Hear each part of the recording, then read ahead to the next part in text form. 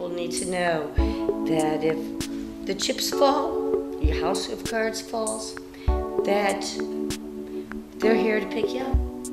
They'll give you a full deck to start over with. Poverty is a real struggle and there's a bit of that in the county and we're just trying to be part of the solution and help build people manage uh, their way through a, a tough time. One of the solutions for our organization to um, have a, a better relationship with the rest of San Rafael, the city of San Rafael or Marin County, is to, to educate the community about the other services that Ritter Center provides. It's wonderful because there's such a collection of services here.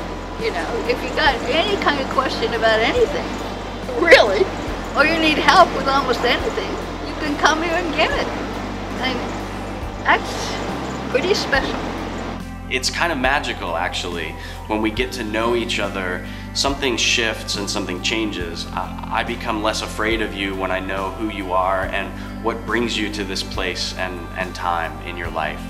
Um, and then when I share a little bit of myself with you, uh, then you get to feel a little bit more comfortable uh, when you see me coming down the street because we know each other.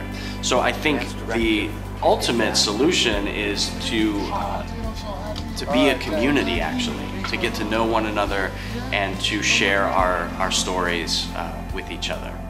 I thank uh, God first of all and thank the people who work here and thanks uh, that they have this place. They are pretty much angels. A godsend to uh, humanity.